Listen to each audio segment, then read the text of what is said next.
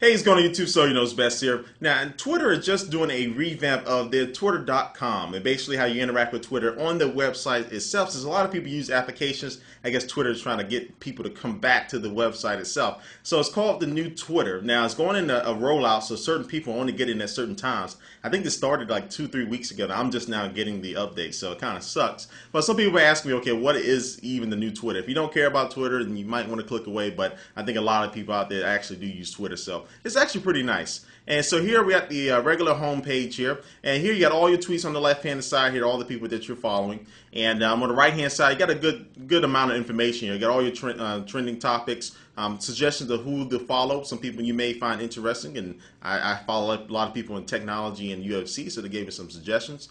And I think I'm to follow Kenny Florian, one of my favorite fighters in the UFC. And also you got your, your basic profile information up the top here. Now, one of the cool things with it, let me find somebody uh, Andrea's Choice here. She has a YouTube video actually inside her tweet itself. So I'm going to click on that. And what's going to happen is instead of um, click on that, and instead of uh, uh, me having to click on the link and it take me all the way to YouTube.com, I actually can hit play right here and uh, it'll go ahead and actually go ahead and start playing the video right here or at the uh, same Twitter website here. And I can pause it I can scrub it just use the using the embedded YouTube player there. So that's actually pretty cool. And um, and you can see the people who have actually replied to this tweet um, itself. So that's actually pretty cool. People are following her actually reply to that tweet itself. And if you wanted to go to the, the straight YouTube page, you can still click on the link right there. And so I think that's actually pretty cool the way they have all this here, uh, the way you can actually interact with the tweets right here on the side and see the kind of the timeline of people who have been interacting with that same tweet and what they've been talking about here. So I actually do like that a lot. And um, again, you can go to your profile here. The profile looks a little bit more, well, not really, but uh, it looks a little slightly uh, more organized there. Got your tweets there to the left and of course your information here. And also you can go to your, your direct messages there, right there, hitting that little section right there.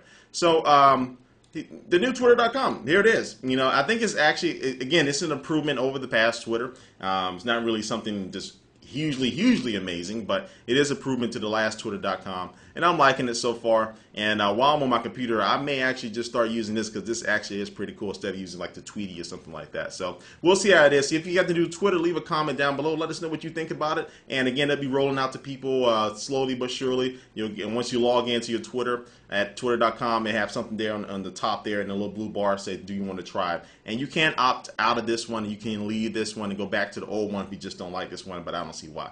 Anyway, so you know, best. Thanks for watching this video. Now we'll catch you later. Peace. Follow me.